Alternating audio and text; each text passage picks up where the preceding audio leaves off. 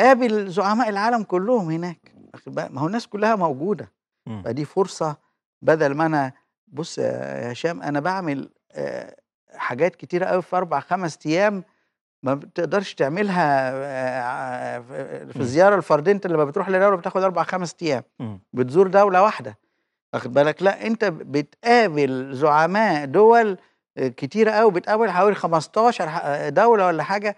بخمس أيام طب الأجندة المزدحمة دي إزاي ممكن آآ تُنسَّق على مستوى التوقيتات أو حتى ترتيب اللقاءات وجدوى أو أهمية الملفات اللي بتطرح؟ آه هو بس كمان ال ال واضح قوي إن عندنا ال ال المجموعة الرئاسية بتنسق الزيارة إمم. يعني حتى كان في آه، وزير الخارجيه بيتكلم أول امبارح بيقول إيه إحنا ما عندناش وقت نلبي كل الدعوات اللي الناس عاوزة تقابل فيها الرئيس السيسي إمم.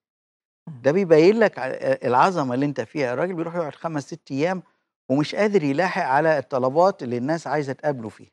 إمم. في أهم حاجة في الوقت الحالي اللي إحنا فيه في شوية ال- القلق اللي إحنا فيهم إيه؟ الزيارة دي بتوضح حاجة مهمة قوي غير اللي هنتكلم فيه. لا مصر مستقر إمم. الرئيس السيسي موجود في أمريكا بيقابل العالم كله. الرئيس أمريكا بيقول عليه إيه؟ ان ده ز- قائد عظيم. فالرساله واصلة قوي وجاية on time زي ما بنقول جاية في إيه؟ في وقتها.